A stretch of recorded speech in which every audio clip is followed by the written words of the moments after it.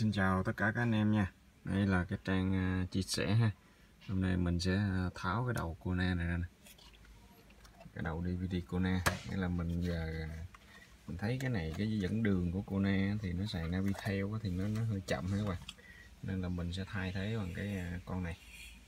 Cái màn hình Android. Thì cái màn hình Android thì các bạn có thể tìm mua trên mạng ha. Có thể là có nhiều nơi bán lắm. nhưng mà mình thì mình mua con này giá 5 triệu à, nếu mà các bạn mua cho gia đình thì các bạn mua cái hiệu OLED à, thì khoảng 5 triệu là ok. À,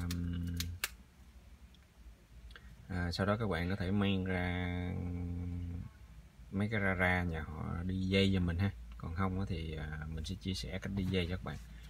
À, cái màn nếu mà các bạn mà chạy xe dịch vụ á, thì các bạn có thể mua cái màn rẻ hơn nó tầm khoảng 3 triệu 2 3 triệu cái màn VWM còn cái màn này mình mua cái màn OLED ha.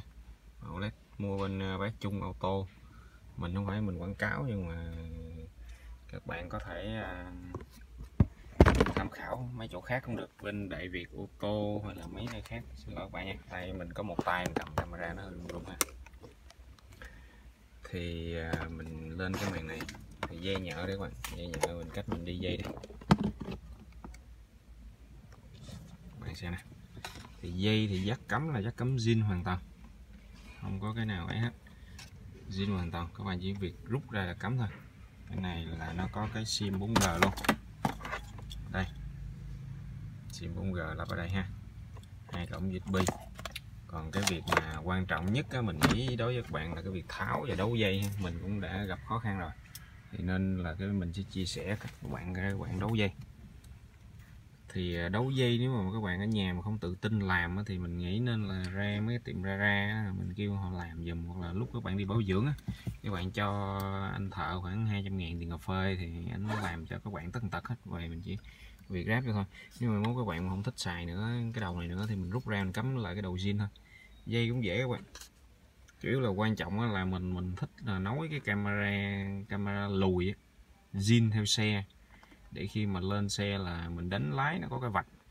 Đó, cái vạch nó cong theo vô lăng. Đó rất là hay. Chứ cái cam mà cam HD họ bán theo họ tặng theo thì cái đó nó nó nó nó nó, nó khó nhìn lắm. Mình quan điểm mình là mình khó nhìn nên mình là đấu cầm zin. Cầm zin mình mới chạy ra ô tô bảo nghi đây nhờ các anh thợ làm về về giờ mình ráp lên. Rất đơn giản các bạn không có gì khó hết. Rồi mình sẵn mình lên một con Việt Map luôn ha.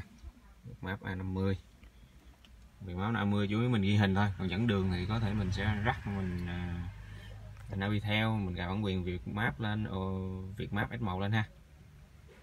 Rồi để mình tiếp tục mình quay cho các bạn xem ha.